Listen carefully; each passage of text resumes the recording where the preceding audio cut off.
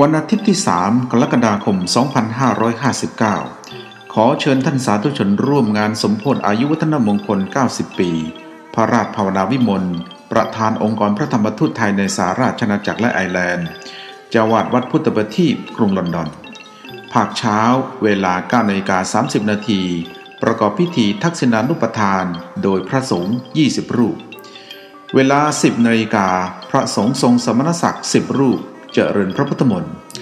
เวลา 11นาฬิกาถวายพระทารเพลแด่พระสงฆ์จำนวน 100 รูป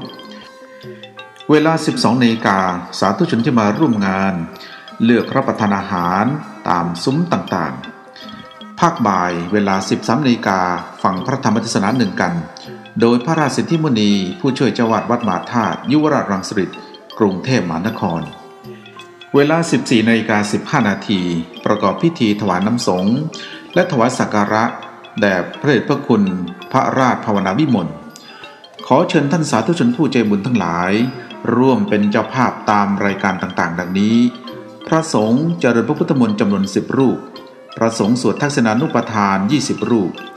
พระสงฆ์ฉันพระทหารเพนจำนวน 60 รูป ขอเชิญทุกท่านร่วมถวายพระทหารเพนแด่พระสงฆ์จำนวนกว่า 100 รูป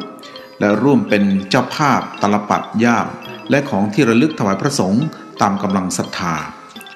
ขอเชิญผู้ที่มาร่วมงานทุกท่าน รับเหรียญหลวงพ่อดำรุ่น 50 ปี วัดพุทธปรทีและเหรียญที่ระลึก 90 ปี พระราชภาวนาวิมลทันละ 1 ชุด ติดต่อสอบถามและแสดงความจำนงร่วมเป็นเจ้าภาพตามกำลังศรัทธาได้ที่สำนักงานองค์กรพระธรรมทูตไทยในสหราชอาณาจักรและไอร์แลนด์ วัดพุทธประทีปกรุงลอนดอนโทร 0208 946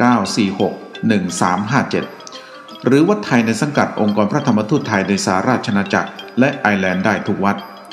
ขออนุโมทนาสาธุการในกุศลศรัทธาของคณะสงฆ์คณะญาติโยมอุบาสกอุบาสิกา และผู้มีส่วนเกี่ยวข้องทุกฝ่ายทุกแผนก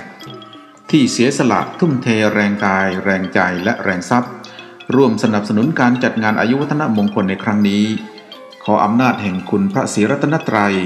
และอำนาจแห่งบุญกุศลที่ท่านทั้งหลายได้บำเพ็ญ จงเป็นพลวัตปัจจัยอำนวยอวยพรให้ท่านและครอบครัว มีความสุขกายสบายใจ ประสบความสำเร็จ ความเจริญรุ่งเรืองในชีวิตและหน้าที่การงานยิ่งขึ้นไป ตลอดการเป็นนิจเทิน